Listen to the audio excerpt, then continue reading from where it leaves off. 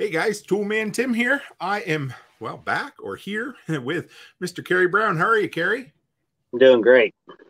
We got a good one tonight. Um, I'll do a little intro. I put together a few notes just of what kind of inspired this show. But for those of you out there who don't know who Art Bell is, um, I don't even know. Would we call it paranormal radio, Kerry? Do you think that would be fair, or what would you call it? Uh, that's that's the term um, that's that's used more commonly these days. I remember Art used to call it, uh, especially once he was on satellite radio. He called it extraterrestrial radio. Oh, that's aw- I love that. That is so good. So, so oh, we got uh, for uh, Renegade Butcher just come up and said, "For whom the bell tolls." So, a couple quick things I want to get out of the way, guys. First off, if anybody's listening and you're a Twitch user, give me a follow over on Twitch. We've been streaming there for a few months now, and it's growing very slowly. But what's really exciting tonight, just to make sure it's working, is if anybody's on Rumble and you can let me know, we're officially streaming on Rumble. And I thought, hey, if I'm going to go balls to the wall, we're now streaming on Twitter as well. So it is what it is. We got a Sean Ryan in here says art is the goat. Yes, yeah, art. Ah, anyway, I so I got to say, I've only really known of Coast to Coast and Art for about a year. But Kerry, you have fond memories of listening to him back in the day, don't you? Yeah, yeah. I found Art when I was working a uh, third shift security job when I was in EMT school, and it was an incredibly boring job. And it, I was very grateful to find a radio show that kept me engaged and kept me awake for at least three or four hours of that shift. So uh, here's the thing. In so he you know he was big in the 90s and early 2000s and for those who don't know his show was called coast to coast am he started in radio back in the 70s worked his way up. It was called i forget what he originally called it was west coast am and in 93 they renamed it to coast to coast. And it must have taken some uh, some clout on his part because originally he broadcast out of um, a studio in one of the major casinos in Las Vegas. And he went to his bosses, as the story goes, and he said, I'm moving back to my town, which is in Pahrump, Nevada. I'd never heard of it before I started researching art. And he said, I'm going there, and you're going to build me a antenna, and I'm going to broadcast from there. And I guess he had just enough pull with the network execs or whatever that he was able to get away with it. And while he was there, he launched or founded uh, radio station, which was called, uh, oh, I had it written down here. Oh, KNYE. He called it In the Kingdom of Nye. And the tagline at the time was Things That Go Pahrump in the Night. And I thought that was kind of cute. So he since sold it to a lady named Karen. I actually reached out to her a while ago, which was so funny. I haven't, I never heard back, but I'm like, I just sent a friendly email and I said, Hey, uh, you don't know me at all, but I would love to have you on the show because I just love to hear your story, the story of the radio station, and some stories about art because, you know, uh, it would be really cool. He seemed like he was a guy that publicly kept to himself. You know, he, he was out there on the radio a lot, but as far as mm-hmm. he didn't didn't seem like he had a lot of real close connections and that sort of thing. So it would be neat to hear some stories from behind the scenes, you know. And Sean Ryan says he also yes he had Dreamland, Midnight in the Desert. Um, which one? There was one of those was on Sirius for only about six weeks, and then he Dark Matter. That dark matter. Thank you, boy. See, I'm glad I have Kerry here. So useless information. no, man, this is fun. Uh, so for the for those out there, like, what the hell are these guys talking about tonight? First off, you know, it is the workshop podcast, which means I named it, and uh, we can talk about whatever the hell we want to talk about, right, Kerry? Exactly. But, we got to have some way of entertaining ourselves in the workshop. Absolutely, yeah. So uh, yeah, this evening I don't have a wood fire going, but we're doing good. But so I grew up uh, listening to AM talk radio. I'm not really sure why, but I always had it on, or my dad always had it on. So whenever you go in the shop, he always listened to Talk of the Town on uh, 9:30 a.m. out of St. John, New Brunswick. And there was a guy on there named Tom Young, and it was the first time. Do you ever listen to somebody on the radio for a lot of years, and then you finally see their picture, and you're like, mm-hmm. Yeah. Okay. Happened with me yeah. with Jack too, right?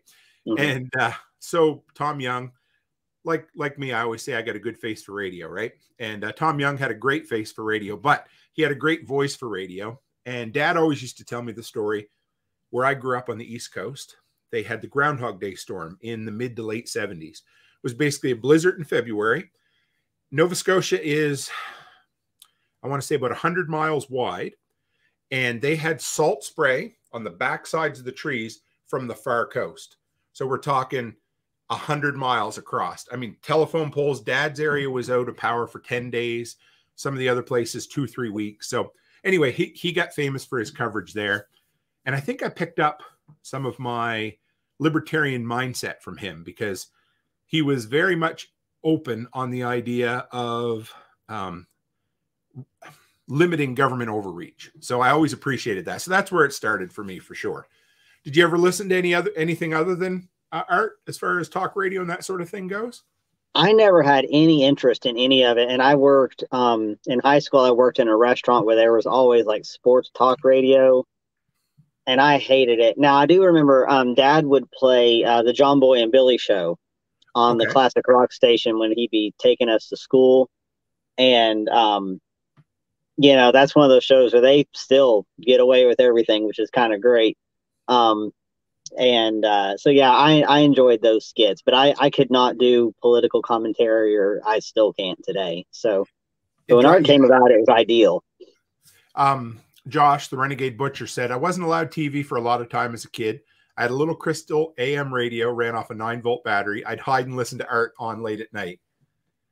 That is cool. I, I for me, so in the 90s, I was all into paranormal everything. I remember I used to buy these magazines that would be about uh, spontaneous human combustion, aliens, and all of that. And uh, of course, I was a huge X Files fan. So oh, yeah. I really wish I'd have found art back in the day.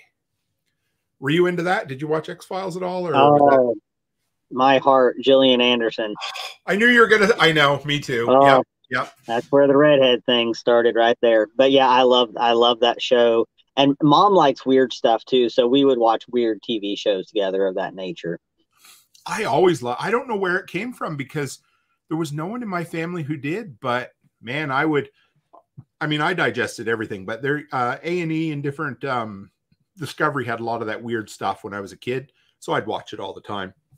And sean said i meant to mention that yeah so before pre 93 art basically talked about politics so here's a question, Kerry. Um, how much you how much do you think that Art talked about? Like, okay, when he had guests on, I, I feel like he was always very much he gave everybody their say. He was very mm-hmm. open. He didn't judge anyone. But how much of what he covered or how much of what he brought on there do you think was either I hate to use the word staged, but perhaps a little tongue in cheek? Do you know what I mean? Yeah, I think art was probably relatively agnostic when it came to believing what his what the guests and the callers had to say, but he was so good as an interviewer and as a conversation maker. Yes. That you know, he didn't insult people, he didn't, you know, come down hard on anybody, but but he would also like if you learned his uh, speech patterns, you would catch like his quips and uh, changes in tone and things like that. So yeah, I don't think he was um, a true believer in anything. I think he was just interested in everything.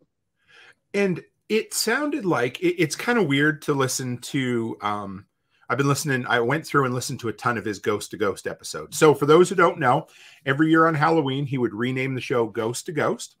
And for a lot of years, he would take calls without a screener. And for anybody who doesn't know, of course, a screener is a person who screens the calls to make sure you're not a whack job. And for someone to take live calls like that without a screener is unheard of, even back in the 90s for the most part. Mm-hmm. So he would get the best ghost stories on there every year. You know, was his show four or five hours long? I, I can't remember, but it, so he, yeah, yeah it, most of these recordings I've listened to are just shy of four hours long and they're entertaining. You know, you'll get the occasional wanderer on there who's like, can't tell a story and you can tell art's getting just a little impatient and so mm-hmm. he you know he he just like you said he had a way of of course he was a slave to commercial breaks which i think which from what i've read about him he absolutely hated yeah. but he was very good at keeping people uh, in, in check and in line, keeping his time going, but also giving people, if it was a good story, he would hook them and say, hey, come back after the commercial and I'll keep the person here. Yeah. But yeah, he was he was great. And so he let's see, he ran the traditional idea of ghost or coast to coast from 93 till I believe it was 2003. And then from then on, it seemed like he retired about every other year, didn't it? I when I was reading through his bio, I think he retired four times for a, a different reason every time. But he just he just kept coming back, even if it was in a limited capacity to host on the weekends, or he started his own shows on Sirius XM, and then um, as basically like an internet, you know, podcast style. Uh, you could tell like it was it was just in his blood. He just couldn't stay away from it, even with like family issues and different things that happened. It was cool. Um, I had, as you know, uh, Bill or William Forstchen on there for the author of One Second After, and mm-hmm. he said he was on live on the air with Art the day that he reported gunshots at his house. So there was that was the one uh, one of the times that he ended up retiring because somebody came by and fired off a gun, and uh, I thought that was a pretty cool story to hear because uh, yeah, I don't that that's one of those stories everywhere you read about art it kind of sticks out and comes up, you know. Yeah.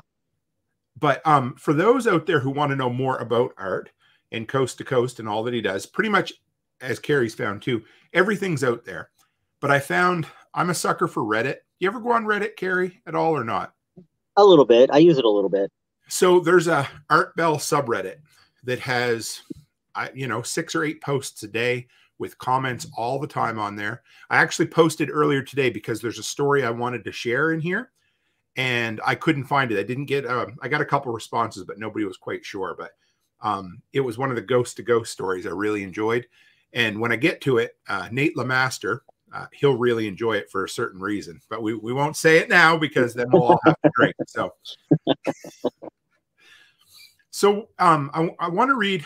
So I picked out a few YouTube comments about his uh, on a couple of the videos we're going to watch, mm-hmm. and they just kind of sum up. They're very similar. It seems like at his popularity, they said he was on 500 stations with over 10 million nightly listeners which today would never happen, of course. They said the new version with uh, George Noory has about two and a half million listeners.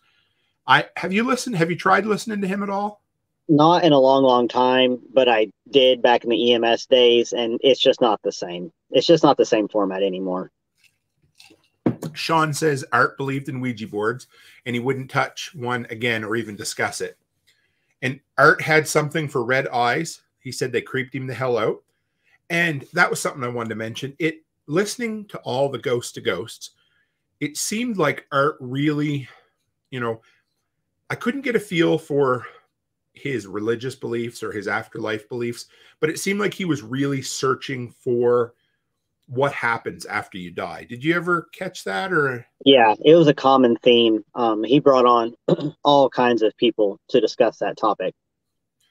And I wonder if that was a personal thing for him or if he just got interested in it or you know it, it's weird because we all come at life and death a different way but it was definitely a common thread that goes through any and all of his episodes especially with his more um you know more adventurous guests and of course the uh, ghost to ghost episodes oh yeah uh, renegade says he has uh, whiskey for the ham comment for when that comes up later on so um, yeah, so here I, I, got three comments so people can kind of get a feel for it. But uh, it said, um, I was a trucker. I drove country overnight. This dude, talking about art, made my life at the time so enjoyable. Listening to his show while driving under starry skies all over the country was an amazing experience. God bless Art Bell and all the great memories. The next one was I was a deputy sheriff in Miami for 31 years, working the midnight shift for most of those years. Listening to Art Bell was probably the best thing about working midnights. As a deputy sheriff in Miami for 31 years, working the midnight shift for most of those years, I was always listening to Art Bell. And then the last one, this is a good one. This reminded me of Renegade. I remember laying in bed at 1 a.m. as a kid with a tiny radio speaker under my pillow so I could listen to Art Bell. So many memories. And it seems like so many people, I mean, we all talk about nostalgia now anyway, but every time people wax eloquently about art, in the comments or on Reddit or anything, It was always how he helped them pass the time late at night, Mhm. whether people had insomnia, whether they were truck drivers, EMS, doctors, you know, night stalkers at a grocery store. And uh, I'm going to venture to guess that some of the topics covered on this show were the first time some people ever heard some of this stuff. it was the first time I heard quite a bit of it. I mean, that's what really, you know, kind of opened my mind up to realizing that the world is a much interesting place than I thought at, you know, in my early 20s at the time. Absolutely. I mean, he talked about um what was it? Uh mental projection. I can't remember what that, you know, being able to take your break. And you know, here's the thing. Again, we're going to be at least I'm going to be agnostic about most of this. I may come a little bit more on the realist side as we talk about some of the guests just because some have more credibility than others.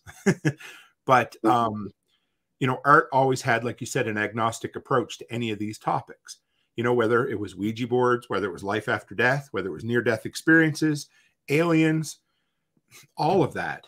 And Sean Ryan, man, it's good to have you in here, Sean. Uh, he said art spawned a generation of conspiracy theorists. So here's a question uh, What do you think art would have thought of the last almost three years, Kerry? I was thinking that's what was running through my head the whole time I was prepping for this show. I would love to know. I mean, they you get asked the question, you know, if you could talk to any person living or dead. I, I think it might be Art Bell. Um, so, so I read or I I listened to most of a show that was the day after 9-11. and of Yes. course, at that time, you know, we didn't know a lot, Right. and there's still a variety of opinions on what really went down and why that day. But um, I didn't pick up on any that are suspected anything other than the official report. Okay. But later on down the line, you know, many, many years later, you find that he's questioning things. So he might have, you know, bought the official version of things early on. Um, but I would think uh, he was, you know, he's pretty discerning. So I would think maybe at some point, uh, at least after a year or so, Art would have been like, "This is kind of weird. let's uh, let's let's dig a little deeper into what we're being told here." I would hope that because he was he was definitely a researcher and he put in his time on that. Most definitely. Where do you think his? I, I've the one thing I've struggled with, and I think it's because he was so damn agnostic with beliefs. Where do you think? Where did his politics fall? Do you believe? I want to say at one point he described himself as like a libertarian or like a conservative libertarian. Okay. And there's also a, um, I am not 100% on this. This could have been a comment that I read, but he, um, he, he seemed to have kind of like a, uh, a, a live and let live attitude. Like, right. you know, uh, he didn't seem to get all that tore up over what people did in the privacy of their own homes and lives. So, and it's hard because when you look back on somebody like that, you at least me personally, I sometimes I subconsciously read my own beliefs into what he talks about, you know. So of course you hear the things that mesh with you. So it's good to talk to somebody else about that because I really did get a libertarian bent from him, but I thought it would be nice to to hear for sure because I listened to an episode a while back that he did on I think it was the Montana militiamen and they were Yep. yeah like freeman you know that kind of thing and mm-hmm. he was he was very negative toward them whereas some of the other you know like ruby ridge especially he talked about where he wasn't so negative on uh, the ruby ridge incident you know he so it was interesting because he would take it on a case by case basis as well where he would judge people i think based on their intentions as well Yeah. and Sean said uh, Art wrote a book called The Quickening that predicted a lot of the current events.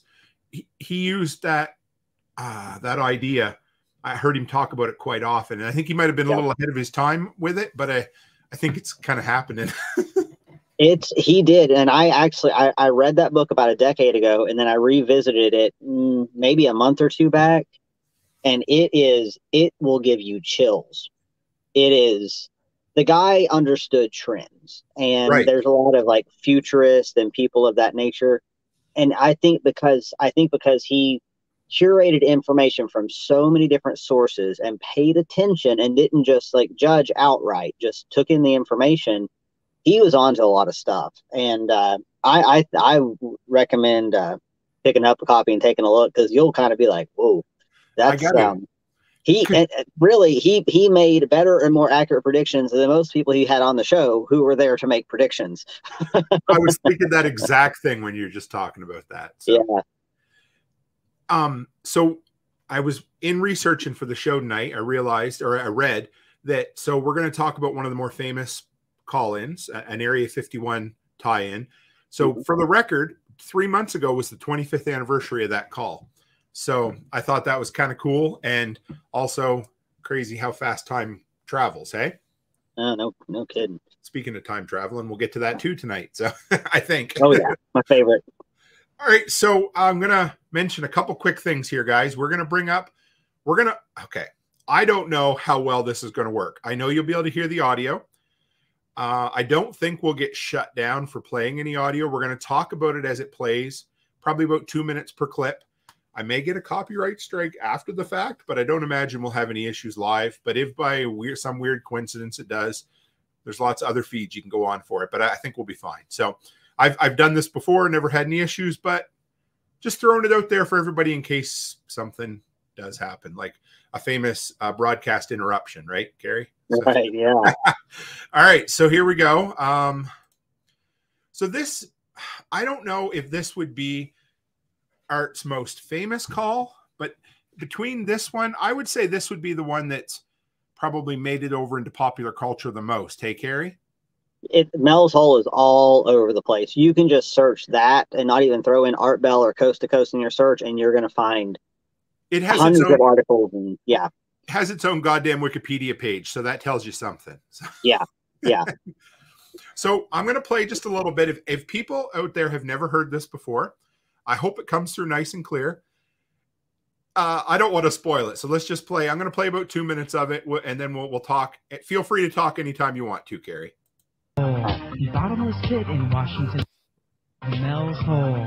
The bottomless. Quite elderly. And let's go back. Sorry, guys. A little. For this hole. Well, the hole the hole has always been there. We've been out there for a couple of years now, and uh, you know, the hole has been there since we've been there. It's been there since the previous owner was there, and the previous owner there was quite elderly, and I, I'd say he was there for a good 30, 40 years before we moved in. Wow. And then, uh, and so there's been a thing of throwing stuff down this hole for a long, oh, oh yeah, long it's, been, it's been it's been going on, you know, as, as for as long as the hole has been there, I assume. When nobody knows that, I guess. All right, uh, how do you pronounce the name of your town, Manastash? Oh, oh, Monastash. Right. So I'm going to pause it there for a minute. So we'll fill you in a little bit on the background. So the name Mel's Hole sounds really funny nowadays, of course, but it. um So Mel lives where a place. Okay, yeah, he said uh, perfect. Uh, Renegade said the audio is good. So Mel's Hole is basically a hole in the ground that not everybody knew where it was. Apparently, the local community did.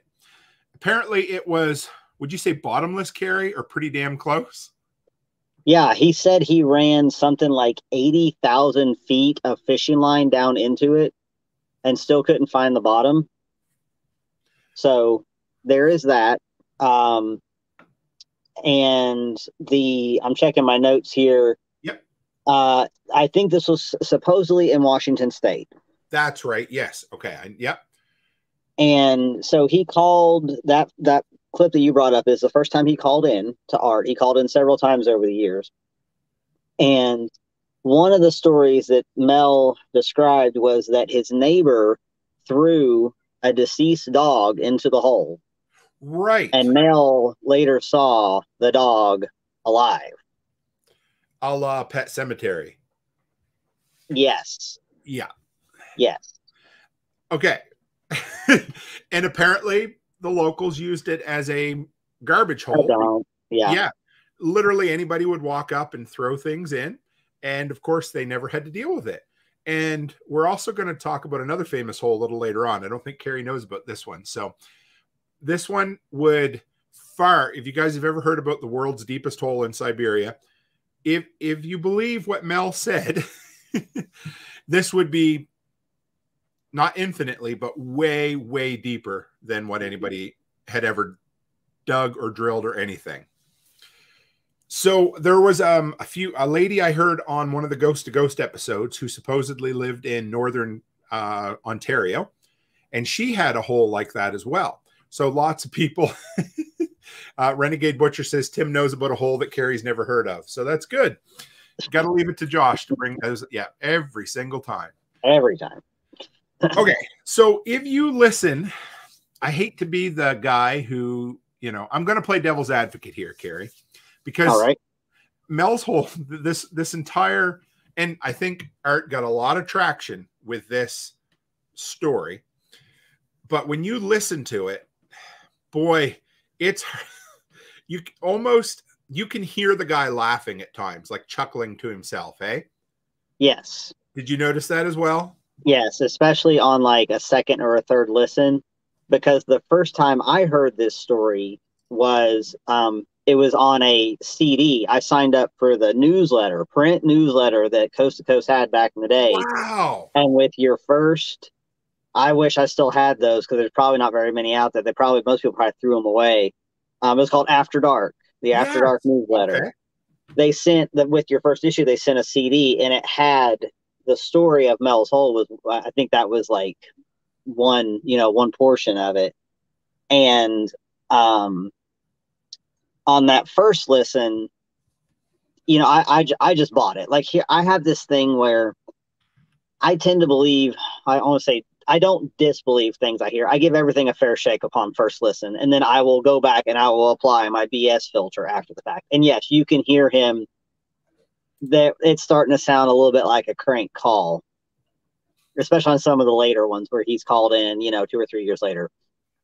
a crank call or maybe now i don't i and i i would love i wish i could pick somebody's brain who really knew art but it almost feels like the two of them were in on it together the what do you Yeah, think yeah I- there's there's a rumor. There's a rumor that art would plan this out with some of his radio buddies. Mm, and you know people he he he spoke with on the ham and everybody take a drink now. And um there you and, go. and and they would they would they would create these characters. Because it, it made good storytelling and ultimately art was a storyteller. So i have no problem with that. It was entertainment so and that okay that's what i wanted to ask you. Like i said we we talked a few minutes ago about like how much of this was real and how much was was staged. But here's the thing. Does it really matter? Like that and that i mean i don't know. It was entertaining. It it kind of at times smacks of um war of the worlds. Was it when was that? In the 30s when war of the worlds played on the radio and Yeah. everybody thought it was real? Yep.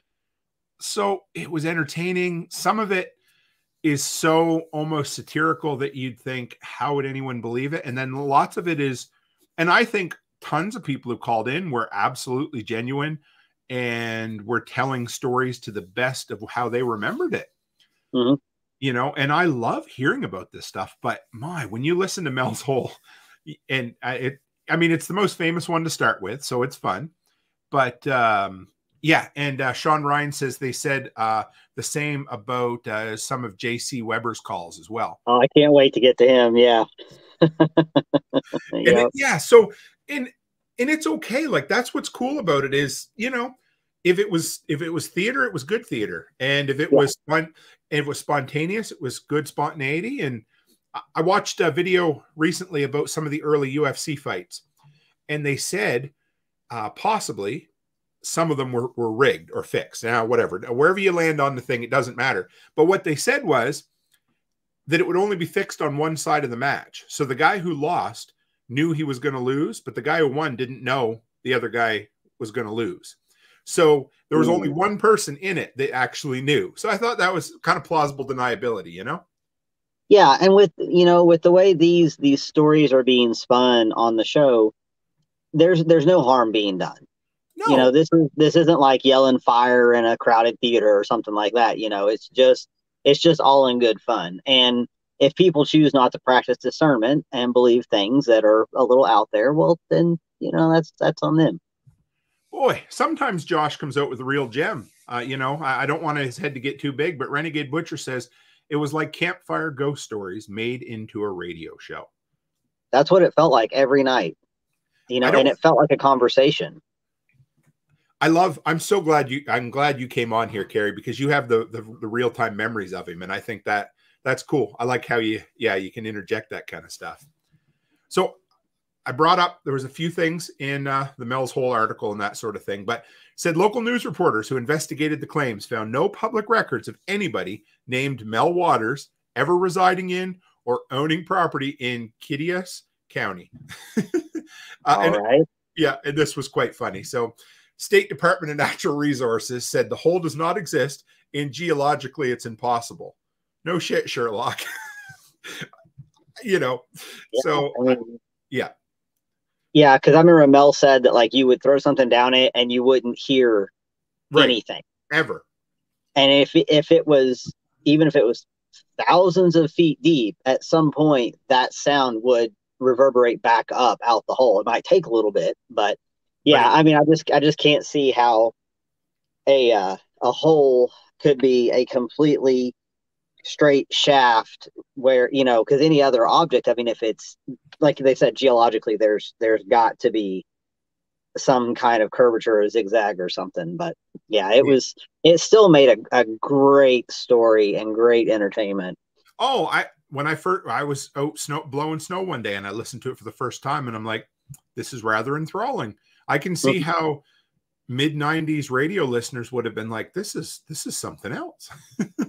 yeah back in a time when we weren't absolutely inundated with you know a million podcasts to choose from and all this stuff like this would have been entertainment gold Renegade says Mel's hole was an analogy for the U.S. dollar. That's good. Yep. He's on a roll tonight. So the next one we're going to talk about is JC. And for the record, this dude called in 30, at least 30 times over a 19 year span. And I put in parentheses, possibly the original troll. That's what I put there for my thoughts. So let's play a few, maybe a minute or two of this, and we'll see where we end up. Uh, hang on. Let's bring it up first before we do that. There we go. Ah, the crack of thunder. Back into the night we go. West of the Rockies, you're on the Oh wow, we're gonna get This thing on? we're gonna get an ad here, guys. Hey, I want to show you something that. real That quick. is When you're only going- hilarious. air. Good morning. Yes, first of all, I want to say Ah. that this Atlantis, this Atlantis business, Yes. this is all the devil's deception. It is being propagated and, and perpetrated by people like you Wait a minute, in the what? media. Wait a and this is why I am against media pornography. wait, wait, is wait, the wait. pornographization Wait. Of, of, of the media. Wait. And, and Wait, what? wait, wait, wait. Let's have let's have an adult discussion about this. First Now, now, look, if, you, if, if, you, if you science, go insulting me again. No, I'm not I- insulting you. I'm you trying to have a dialogue with Every you. time I talk to you, it's insultation from you. oh, insultation. You've never Let me tell you something. I could never do half the job on you that you do on yourself. Now, listen to me for just one moment, would you please? I'm listening. All right, good. If science finds through um, uh, the method science uses, which includes video cameras and all the rest of it, that there really is a city below the waters in Cuba, and yesterday we got evidence that there indeed there is. I'll tell you what they're doing. I'll What? tell you what they're doing. The, What? people- the same pornographers that are creating that Star Trek are doing this as special Pornographers? This is this is Pornographers did not create Star Trek. Why would Star Trek is one of my favorite It's a- programs. It's a very pornographic. It's pornographic. Star Trek, yes, Star Trek is an icon of American science fiction. It is is part of the media pornography that is assaulting our nation. Star Trek is just among. It's it's terrible. If you've ever seen that show eh, with with that with that 69 or whatever. There we go. So oh boy go ahead, Kerry. You start. Well, so this guy has his own um, fandom entry on uh, the Coast to Coast fandom site. Um, Jonathan Christian Webster. I want to give him proper credit. Uh, probably another invention of one of of, of, somebody, and, and it brilliantly done. I mean, just Sounds like fantastic. a Simpsons character. He does, and I and I think they might have taken like Ned Flanders and crossed him with something of the sort, like Ned on uh like he's on speed or something like that. uh, but yeah, he represented uh, Clamp, which was the Christian Legion against media pornography, Oh, and that was that was his thing. And let's just let's just say for a minute, this is a real guy, because I have met these kind of people before. As Maybe not I. quite that intense, but pretty close. And um, There- to Art's credit- comment. Yep. Yep. To Art's credit, like he still managed. Like anybody else would have just hung up on the guy. Yes. But Art knew it was good radio, and so he fed it, and uh, and it was and it was epic. he uh what, what does uh john willis say don't feed the trolls so uh i but i think art knew how to just give him enough if, if you know enough breadcrumbs to hang himself and have fun with it but you Yeah. rarely did art ever get as upset as he sounds there and and it could be totally you know it could be put on but he rarely rarely ever spoke over a guest and i really appreciated that because yeah, but this was fun because you, you could tell as soon as JC comes on, you could hear it in Art's voice, and you're like, no, no, no, no. yeah. and I have met people like him, and I really think I know Art only passed what's it been five or six years now, maybe 20, yeah, 2018. yeah 2018 but he was kind of you know he was still doing his show but i think he would have had a lot of fun with people even you know the last three or four years some of the crazy crackpots that have just come right out of left field. I think he would have had a lot of fun with a lot of them. Yep. Byron says don't argue with uh, don't argue with idiots online. Well uh art made a living at it at times or at least discussing with him, right He did. Renegade Renegade said, I'm pretty sure I met that guy at Float Fest, or at least at very least a dude spirit animal. And I missed another good one here. Jace um, Sean says JC still calls into George Noory. Yeah, on the fandom site, they have a list of, um, if not the episode number, at least like the number of times per year that he has called into the show, and he is still at it today, or somebody portraying that character. Right. Interesting. Yeah. Uh, Haas says Art Bell rocked the AM waves. Listened to him for years when I worked nights. He used to cover politics, then started the paranormal stuff. Sounds like Haas was around listening to him from way back. Nice. But yeah, so um, I, your notes here, you put that uh, JC was an odd duck, and he called in many times, spouting all kinds of religious viewpoints, argumentative, and talked over art all the time. And he pick. Apparently, I didn't catch this, but he used to pick fights with guests too. Did he? Yeah, so if Art was interviewing somebody and then they go to the call-in segment, and JC would come through and he would just rip them a fresh one, uh, all the time. Over usually it was it media pornography was his thing. He didn't care for people who um you know were in same-sex relationships. He didn't care any anything that the far um the uh what's my word here that the ultra conservatives don't care for. That was JC's platform. So if you were easily offended, he probably was not the guy to listen to. So he would have been a placeholder for Joe conservative or Joe ultra conservative, eh? Yeah, and well, I mean, he was, and and, and that was an extreme example too, because Right. You know, in in my um, experience of conservatism around here, it's nothing like that. It's more like, eh, okay, I'm not crazy about it, but whatever kind of attitude. Yes, and it's fun to you know. I I, keep telling the same story, but I. Uh, the other day, I went in, I went onto Facebook, and somebody was talking about all the bullshit we dealt with over the last couple of years, and I thought, yeah, that's legit. And then the very next line, they start talking about flat Earth, and I'm like, see, see, like, and you wonder why, when we question things that happen on a regular basis, people call us crackpots. Uh, Anyway, uh, that's the rest of my soapbox for tonight. So, uh, Sean Ryan said JC actually co-hosted the show with Art three times. See, this is no way. we'll to, you know what, Sean? Maybe we'll have to get Sean on with us some night. He knows a lot. He knows his stuff. Yeah, Yeah. we need a part two. Yeah. Oh, we'll do. Yeah, there's so much. So, okay, the next one is one that you that I picked, uh, Kerry. Sweet. So this is the man who flew over Area 51. yeah, Have you ever have you heard that one? yeah, I love this Okay. one. Yeah, it's fun. So I uh I just picked I kind of have it set right where so to set the stage for you guys, this guy's girlfriend sent a fax in because Art used to communicate via fax. I know that's crazy to think of. And uh she said he was trying to get a hold of him, and he's in a little Cessna. The, the way it sounds, it almost sounds like he built the Cessna himself or something. It's a very believable sounding call. And apparently he, yeah. So let's let's pick it up right there. Let's bring this up. And whoops, sorry, Kerry, made you disappear. And here we go. Uh, yes, sir. Where are you? Well, I'm up here from Fort Worth in my little airplane. It's a Long-EZ I built myself. It's a Burt Rutan design with the Ford Canard. I'm not sure if you know the kind. It's an experimental aircraft. You know, I'm not. classified that, but not anymore. No, tell me about, it. What kind of airplane is it? Well, it's a Long-EZ. It's got 120 horsepower Lycoming in it, but we had it bored and stroked and fixed it up a little bit. It uh, usually flies around 140, 160 indicated. And I figure I'll just uh, go on up here and uh, try to get into this Area 51. I'm right south of this Nevada test site, or Nellis Air Force Base. Listen, And I'm right outside this restricted zone. Listen.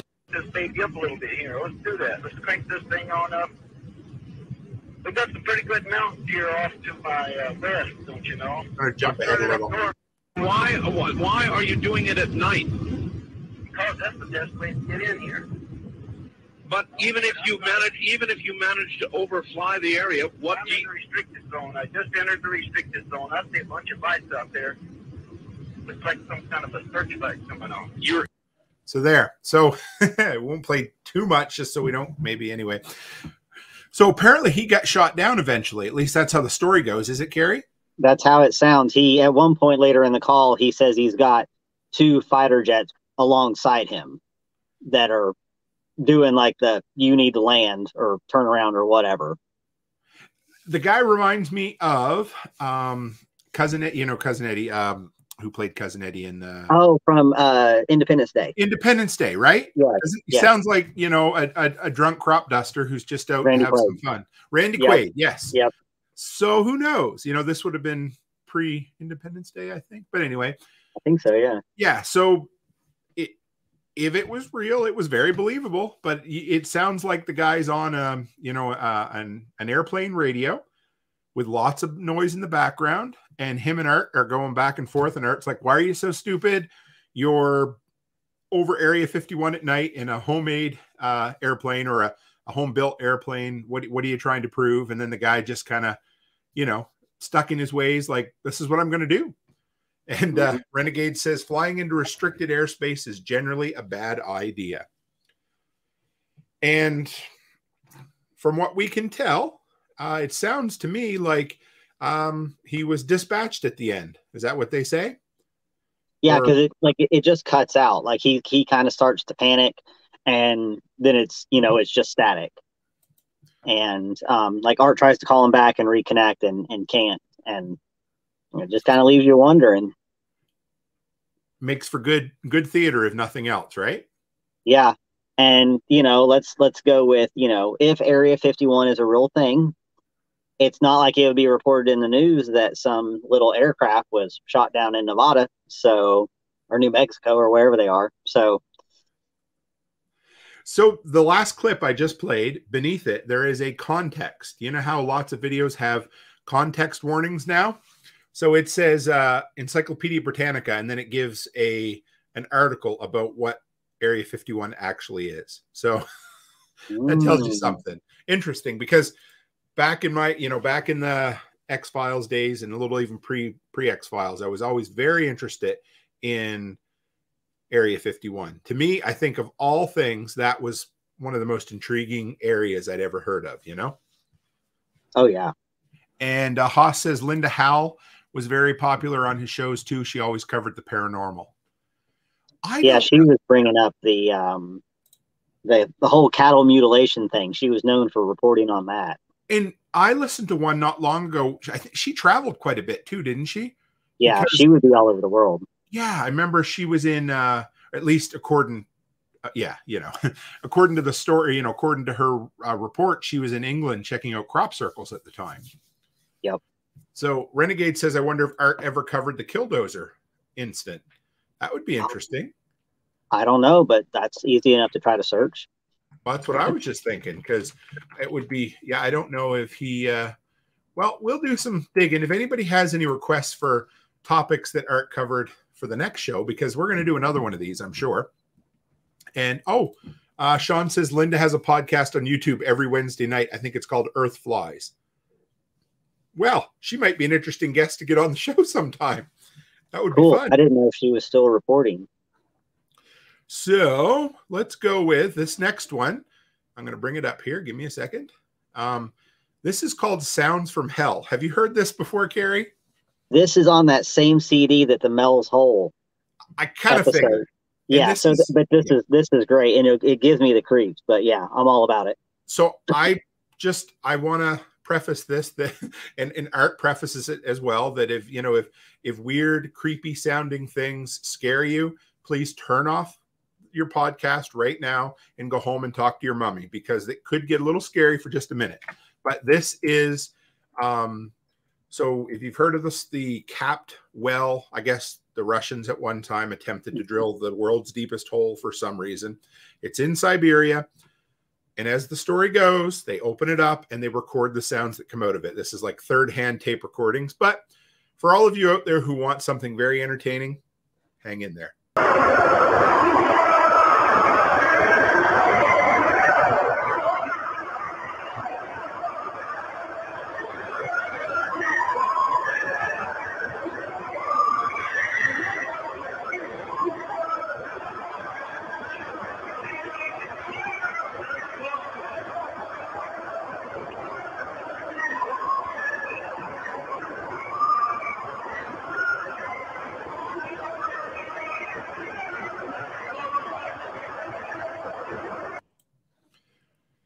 So, um, I guess if a person ever pictured what hell would sound like, I think um, that might be it.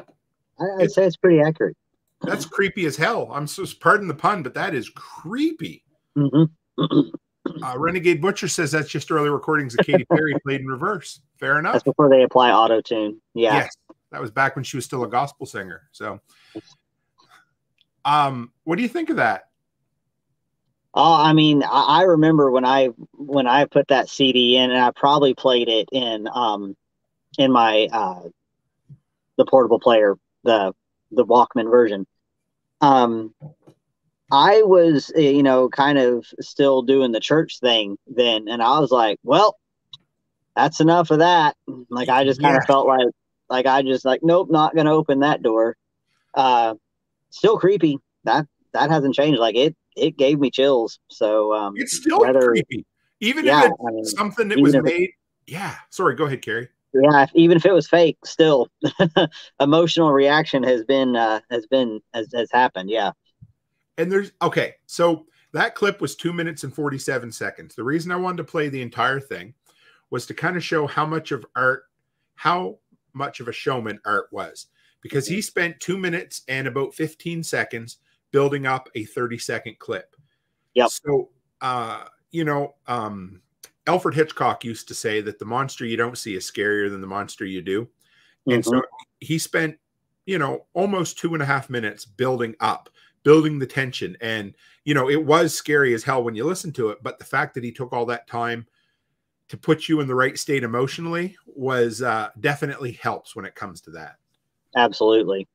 And I, and to create a plausible backstory, you know, I, because we all knew somebody somewhere that either had a VHS tape. You remember, remember like Faces of Death and that kind of stuff. People would make copies of it. Oh yeah. Yep. Or um, you know, er, in the early days of the internet, they used to be like uh of course I, I had audio copies of some of the early celebrity Jeopardy skits, or um there was that radio skit where the lady called in and she how was it? Um, she wanted to have the the deer crossing moved because it was in a bad spot.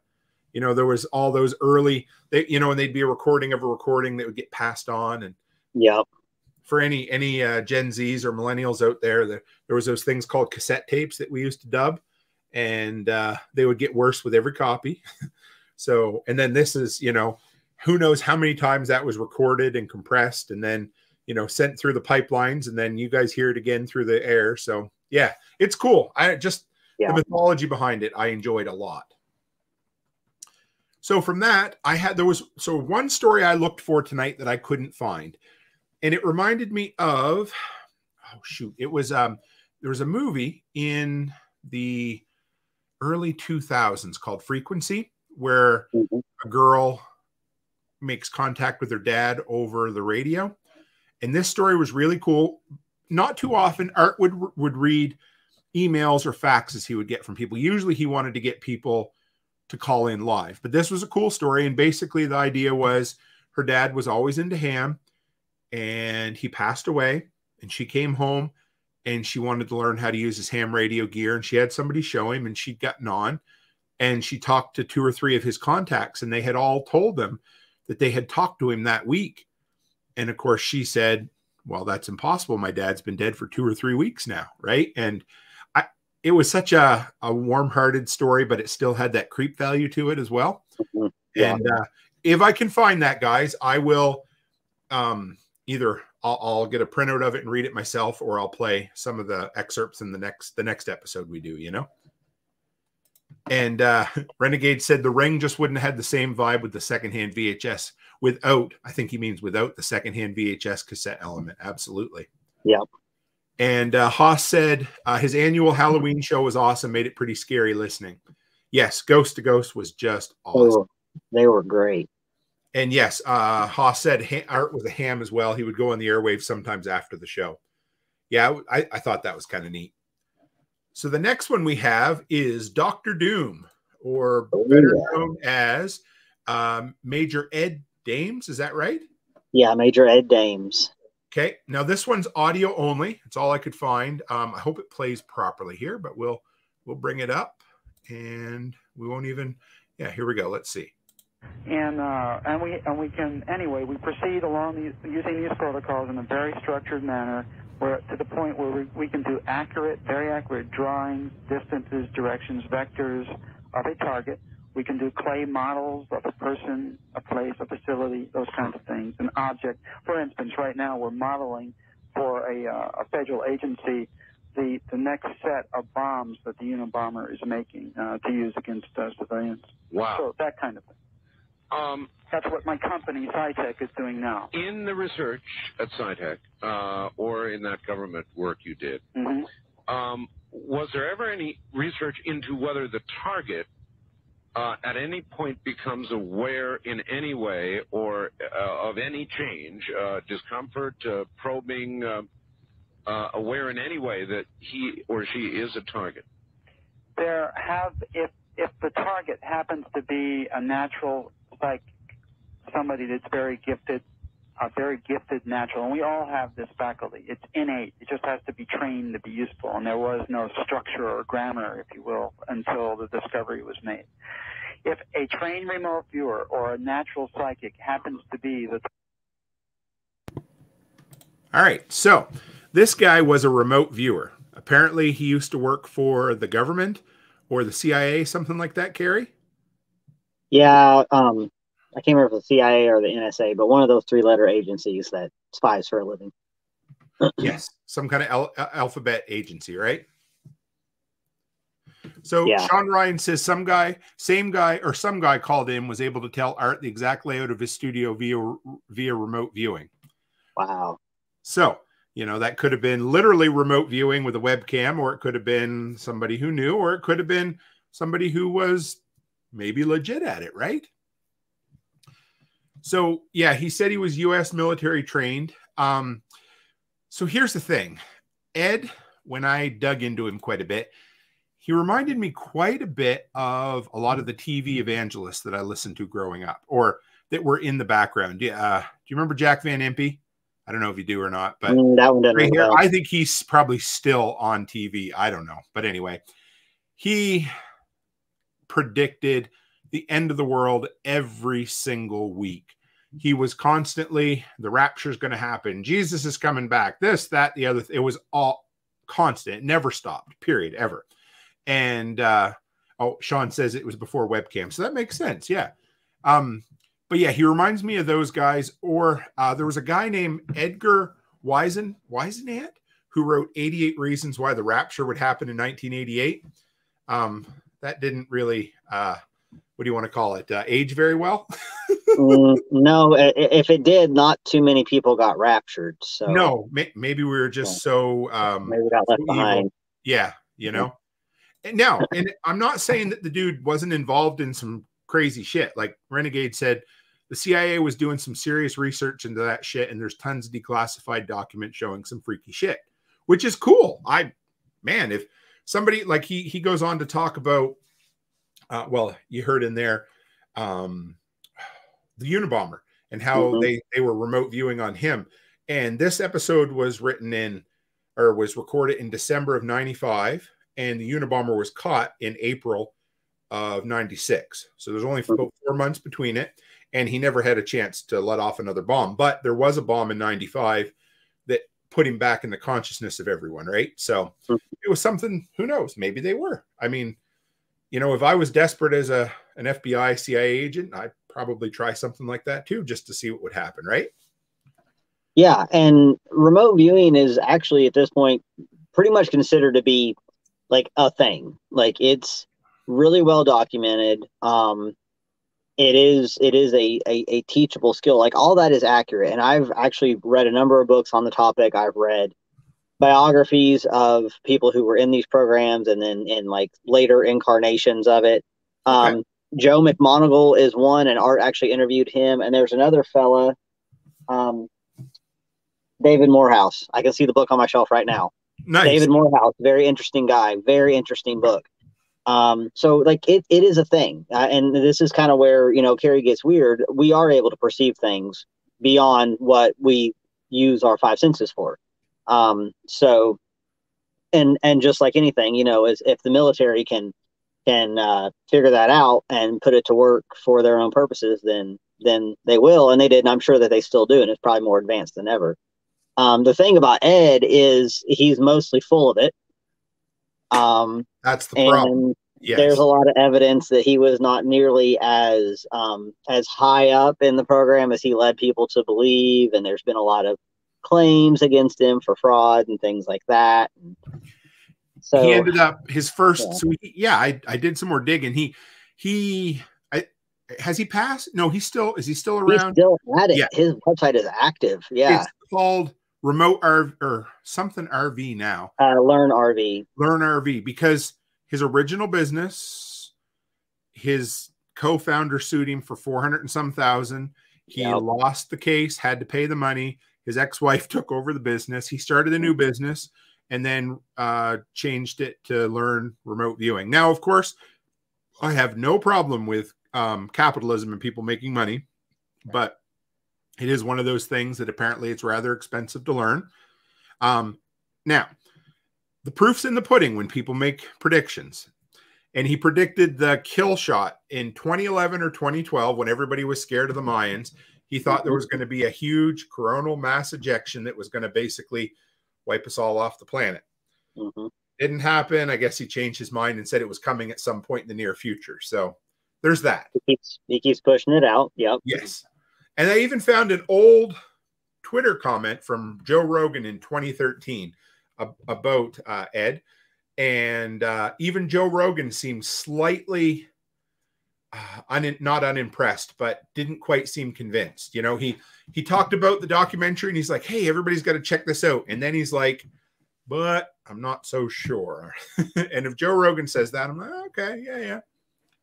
But an interesting dude nonetheless. And uh, you know, on the subreddit, he was probably one of the least liked um, guests on there. Everybody called him uh, boring or dull. Like he, and he does. He doesn't. He doesn't have much of a uh, personality, right? yeah, he has no affect in his voice, and he seems to. People who are ultra self assured to me are not very interesting. And that's how he always comes across. As there's just no possible way he could be wrong. And like, well, that's boring. So Right. Yeah. it's funny, isn't it? And you're right. Yeah. Yeah. Because when they're absolute, when they 100% are either in love or believe their own shit that much, then it's like, well, okay, I guess we'll, uh, yeah, I don't know. There's, if there's no room for debate or comparison or learning in the conversation, then what are you going to do? Right. yeah, Uh, Renegade says the brain is a bundle of nerves that sends and receives electrical signals. The more you learn about radio waves, the more you start to see why it's not that bizarre of an idea, but there are nuts. Mhm. That's the problem. Like uh, John Bush the other day had a good Facebook post about crypto and how crypto itself is a great technology, things like Bitcoin and Ethereum and that sort of thing. But the problem is, is that there is a metric shit ton of scam artists involved in the crypto space right now. And of Mhm. course, whenever that happens, you know, I mean, take a guy like Alex Jones, for instance, and I'm I'm, I'm treading lightly here because I'm sure there's lots of people out there who love the dude. You know, um, I'm sure Alex Jones has gotten many things right over the years, but the problem is, is that the things he gets wrong puts him in the limelight, and everybody sees him for it, right? Yeah. And that and that paints you in modern times as a pariah, right? And I get it. So. Mhm. Uh, Sean Ryan says the interviews with Father Malachi Martin were awesome. I'm glad Sean brought that up. So I've got a I've got a quick story about listening to this guy on night shift on the ambulance. So he he was a priest uh, who performed exorcisms, and they would sometimes record, I guess, audio record these these exorcisms. right. And I'm already like, I, I actually don't really care for too many horror films. I'm actually kind of a big baby when it comes to that sort of thing. Um, but uh, the, and and there's something about the whole demonic thing that literally like it scares the absolute piss out of me because I think it's it's probably real. Like there's a lot of stuff I doubt, but I think that's probably real. And I've also like been around people that gave me a terrible, terrible feeling. Sure. So, um, but anyway, one night I'm on the truck with um with my paramedic partner, and this guy was a little bit older than me, and he was basically like Opie from the Andy Griffith show. Like he was literally the most. Um, he even looked like Ron Howard. He Okay. was the most like happy-go-lucky. Like everything was nice, everything was fine. He never got irritated. He never was grumpy. He never said an ill word about any patient or staff member. Which be real guys like we all bitched about everything on that on that truck but anyhow i turn on coast to coast and it was probably a rerun show because at this time art wasn't actually um on the show live anymore but they would run on saturdays and sundays they would run uh reruns of art's Sure. old show because they were better than george.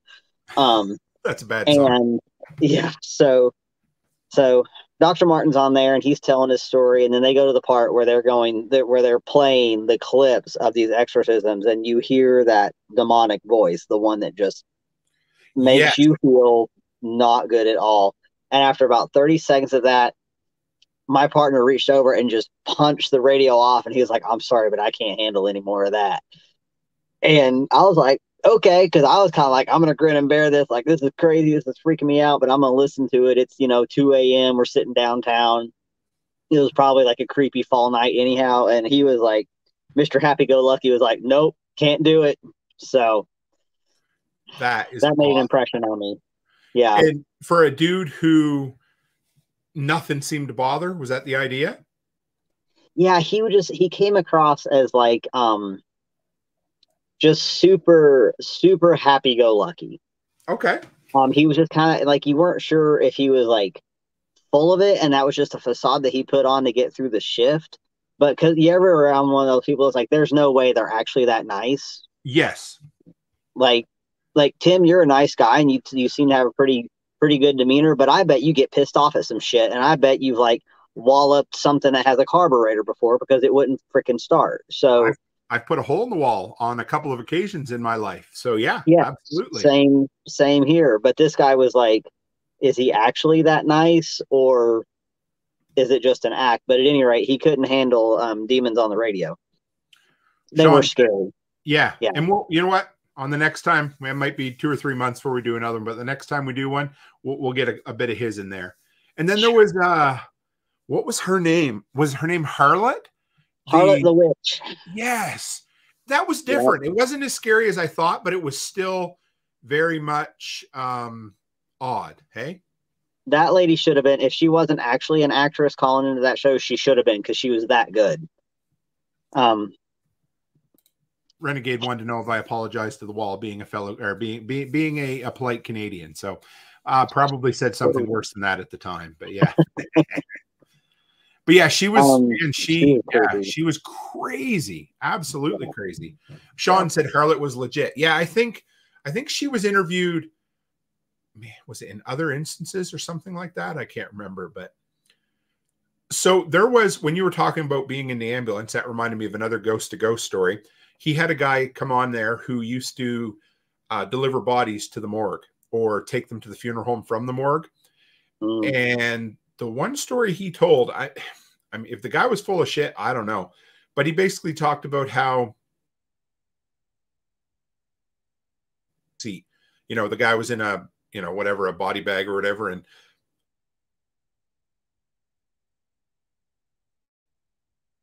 his spirit had a lot. He just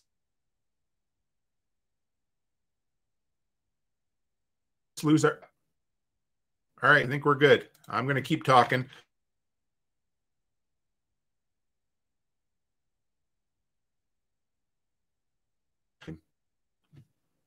I don't know what just happened. Okay. Got all choppy on my end, but you're coming through now.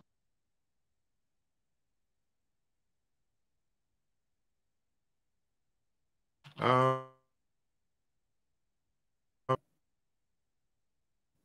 you there? Sorry, guys. I've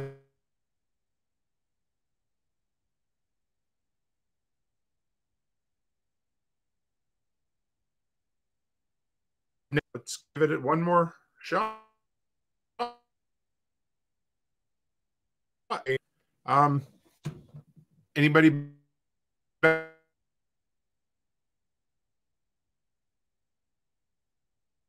back?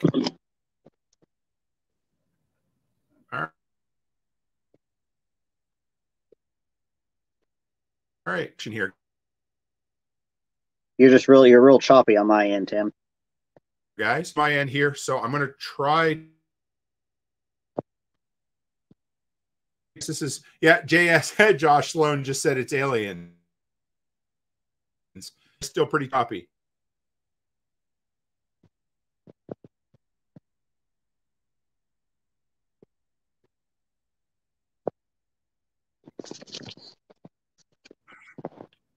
There we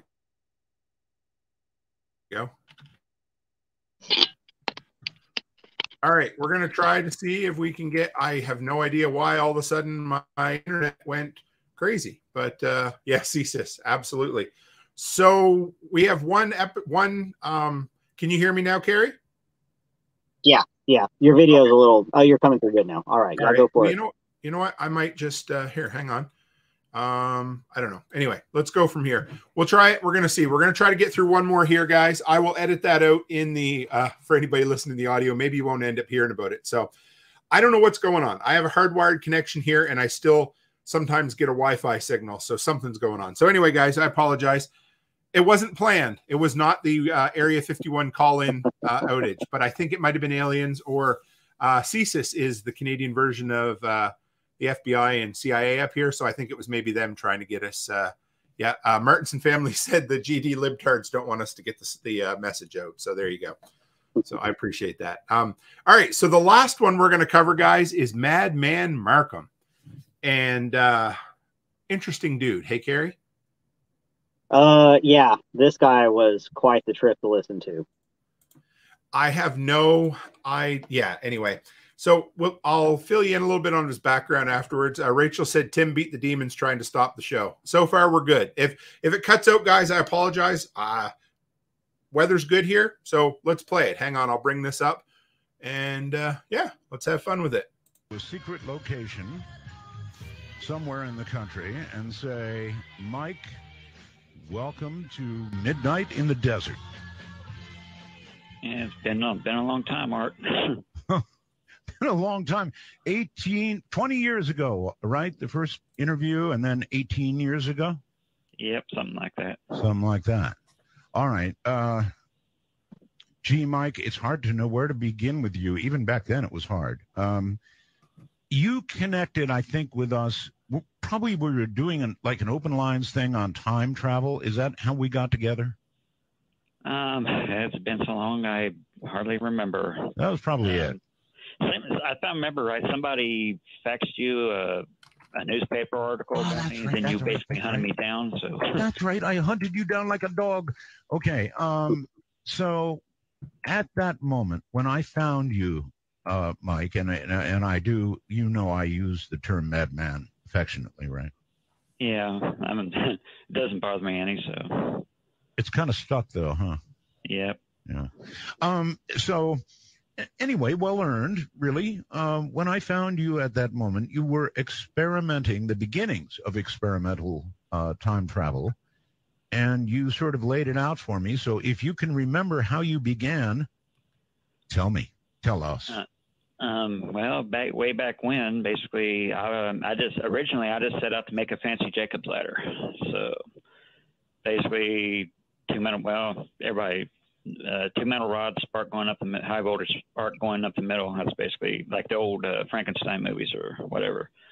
Right. That that was the first step, and I, if I recall correctly, you then modified it with lasers to. Yeah, basically. Uh, All right. So that that was him. Um, I don't want to go too long into the show with him rattling on, but the idea was he built a Jacob's ladder, which is basically two metal poles running a big transformer at the bottom. And when you see it, it looks like the old Frankenstein thing where these um, electrical pulses kind of go up and then out at the top. Story goes that he took a sheet metal screw for whatever reason, threw it into those electrical pulses. It disappeared and then reappeared three to four seconds later across the room. Now, I mean, take with it what you will, but he, for whatever reason, decided that he had invented time travel at that moment. So he tried to turn the power up a little more. It burned up. So he thought, well, what do we need to do? I'm a broke college student. So him and his buddies went and stole a bunch of 300 pound transformers from a local power yard built one. When they fired it up, apparently, the way the story goes, that it put out the entire power in his whole town. The sheriff showed up because some loud noise at his place, discovered the stolen property, and he spent some time in jail. And then, as the story goes, uh, there was a, um, it doesn't seem plausible considering he was on Art Show a couple of times 20 years apart, but some people say he disappeared in 1997 for a long time. And then there was a story that he ended up dead in the 1930s with a cell phone next to him. Take that for what you will. But the more I dug, I found him recently, as recent as February of this year, posting in an online forum talking about how he was getting ready to build another time machine. Yep, I found that same post and a Facebook account too, which could belong to anybody, but you know it was there. Same thing. He was basically running a GoFundMe. Right. So, which probably would have been very um, advantageous back in the day when he was doing it. because he could have built a bigger Maybe he wouldn't have to steal. Yeah. So, what'd you think of him? I mean, time travel has always been fascinating to me. It was always my favorite topic on like the Star Trek shows and stuff like that. And it just, it really bends your brain, you know? So he was interesting. Um, and one of the things that made it sound more legit was I think it was, I can't remember if it was the first or the second time that he called into art. But when they went to um, people calling in to talk to him, the arresting officer called in. Really? I'll have to see if I can find that episode and send it to you because um, he calls in and you can tell that Marcum is like that. i if it was pre planned, man, they really pulled it off because he was kind of like, because he was young, like he was 21, and and he was really weirded out by the fact that the officer called in, and the officer was very nice and everything, and, and but he cor- you know corroborated everything that had been said up to that point. So that was that was kind of one of those you know kind of confirmation moments of maybe this guy did something. I don't know if he time traveled, but he did something pretty bizarre. I think in my mind, I kind of put him in the same category as as Ed Dames or or the harlot we talked about earlier. Whether take them or leave them, they 100% believed in what they said. They weren't those three at least weren't actors. They weren't putting on a show. They 100% believed in what they did. And uh, my brother-in-law, he just come on. He said, if he could time travel, he said, why didn't he go back in time and win Lotto? So here's the thing, and this is what made me chuckle. Madman said that he, for whatever reason, he could only time travel into the future slightly, mm-hmm. or at least that's what he planned. Now, when I read that, I was reminded. Do you remember Mad TV in the '90s, Gary? I watched a little bit. Yeah, I loved it. I was a huge Mad TV fan, way more than Saturday Night Live. And they did a skit in there way back in the day where the scientist called in the news and he's like, I have invented a time machine. He said, I can only go in the future for about eight hours at a time. He said, Come into my lab and I'll show you what I have. And they go in there and he pulls the curtain back and it's a bed. so I'm just, it, I don't, it reminded yeah. me of that when he said I can only go into the future. So yeah, yeah. it was fun. I, I love it. I mean, again, um, when we talk about all of the, the people who were on here, um, most weren't disingenuous. And the cool thing was on some of the ghost to ghost episodes were if Art suspected that it was a kid or a young guy making up a story, having a laugh at his expense, he would cut them off quick and just be gone because mm-hmm. he, whatever he covered, he wanted it to be covered seriously and, um, and honestly, earnestly, maybe would be the right term. Hey, yeah, yeah, for sure. Um, he had a um, a quick hand for the for the eject button, especially since he, he didn't screen for most of that time. And I remember especially one thing that made an impression on me when they would do the New Year's Eve prediction shows, where everybody, audience members, would just call in and. But Art had rules after a some incidents. He said no, um, do not predict the death of any head of state of any country, oh. because when that because when people have done that before, he said people in black suits show up at my house knocking on the door wanting to know how I know about such and such person is is allegedly going to be assassinated. You know, so he, he said, don't talk about celebrity death, political death, anything like that. Everything else was a free for all, and those were those New Year's Eve shows are great. That's yeah. Um. So it just reminded me of something here. I just just read this article the other day, and I'm going to see. Whoops, we got some stuff there. So recently, there was a guy who has run an Area 51 website since the mid 90s. I, it may even predate back to like the BBS days. I'm not sure. And his house was recently raided by men in black suits um, without giving him any reason for it. He suspects it may have been some sort of new airplane that he got pictures of and posted on the internet. But he's basically doing a GoFundMe because they took all his gear and now he's up a creek and he talked to a lawyer and he's like if you ever get it back the computers will be out of date by the time you get them wow i'll uh, i'll bring up I'll, I'll find the story some night and we'll uh we'll discuss it but so what do you what do you, uh would, yeah renegade just said did uh, tim accidentally just queue up his onlyfans audio track no unfortunately it was a uh, um uh what do you call it a commercial for streamyard they have the most pornyish um, soundtrack you're ever going to get. So, oh man. So, what do you so, think? Oh, go ahead, Kerry. Yeah, I was just going to mention how you know Art Show he, it launched the careers of a lot of other people who have continued in radio podcast format. Um, apparently, Linda Moulton Howe is one, and I, I, didn't know she was still at it, so I'm definitely going to see what she's up to these days. But um, Richard Hoagland, which was known for his space reporting and the stuff with Mars, he has his own show right. um, called The Other Side of Midnight. Um, I don't know if it's on like terrestrial radio or if it's internet based at this point. Um, Whitley Strieber still does uh, Dreamland. Right. And there's a there's a few more out there. So, you know, just much in the way where, you know, you took Spirko's concept and you've turned it into your own thing and and, and so many people have so um in, in a lot of ways like his work lives on in that format which is which is pretty nice that's cool i i don't think i could sum it up any better than that i we we've talked about it over the years but um i lately i've been thinking about how much content is out there and how much you know we've basically for the last 10 to 12 decades, let's say the last 100 years, have been a content creation um, society, whether you yeah. know whether it's radio, TV, books, movie, music.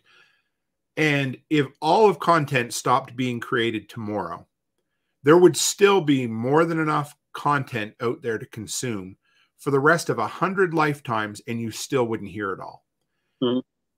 But but we all still create because there's a need for it, there's a hunger for it, and it seems to be in the hum in a human's nature to create for whatever reason that is. And I think that when you're talking about art, and it would be kind of neat to to, to, to go, you know, you go all the way back to where he started in, I think it was in Korea in the 60s or 70s. Mm-hmm. And he, he claimed way back then that he set the Guinness Book World Records for being on the air for the longest time. But you think about where he started and where he ended up in Pahrump, Nevada in 2018, and how many people he touched over all those years, and how many creators or radio hosts or whatever all exist now simply because he decided to get on a microphone and start hollering way back in the day. Hey. Yeah, and people just people just thought it was cool, and he set a heck of an example. And when you pull up those old YouTube videos, every single comment is positive. Everyone is praising him. Every one of them is saying like "rest in peace" and all that kind of stuff.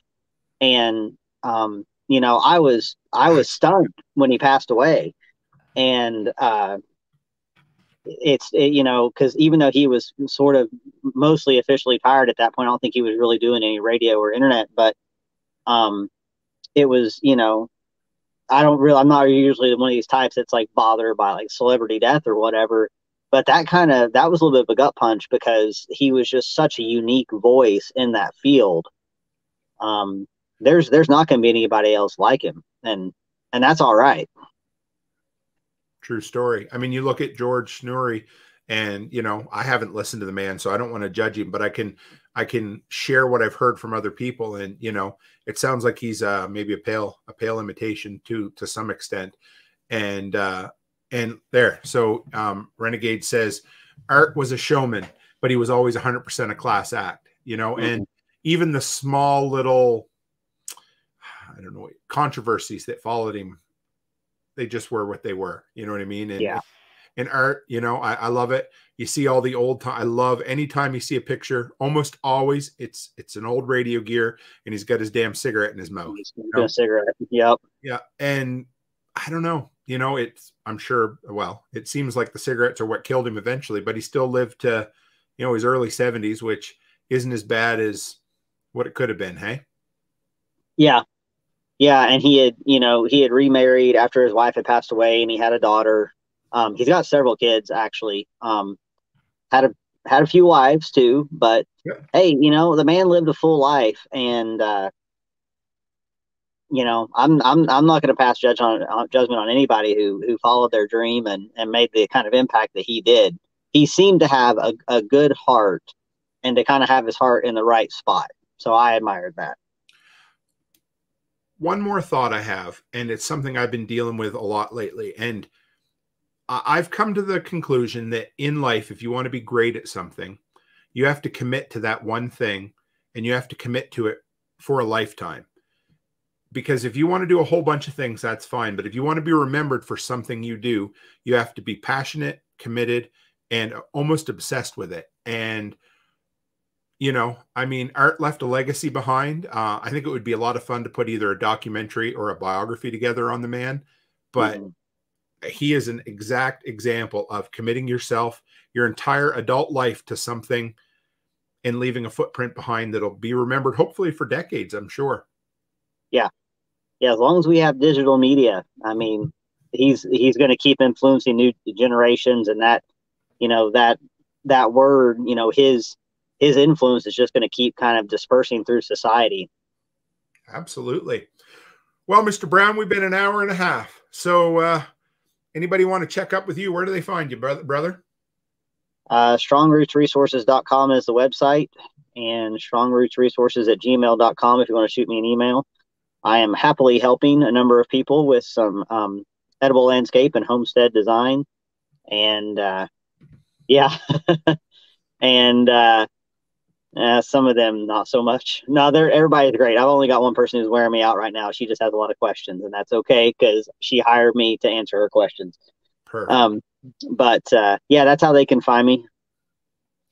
Well, thank you, Kerry. Uh, Kerry's going to be helping me uh, with, um, well, my uh, a good buddy of ours, Brian Alexovich from the Lots Project as well. But my wife and I just bought 10 acres down in Tennessee, and uh, Kerry's going to help us uh, build our off grid paradise down there. So I'm quite excited about that. And uh, just wanted to say thank you. The new name I've seen in here a lot tonight was Sean Ryan. I really appreciate you.